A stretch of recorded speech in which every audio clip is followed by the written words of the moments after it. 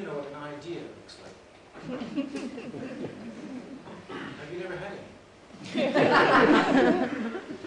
In the Church of the Eternal Question, we reckon an idea looks like this. You have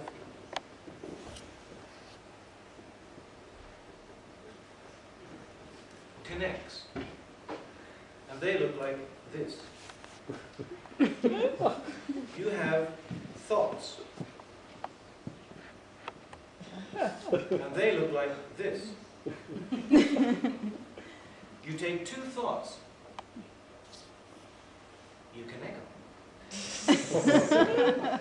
You get a third thought. This is an idea.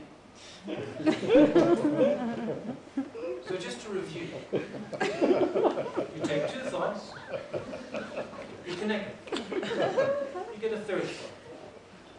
This is an idea. Ideas come together to produce a concept. Concepts come together to produce a theory. Theories come together to produce a thesis. Theses come together to produce ideologies or philosophy. Ideologies come together to produce cultures.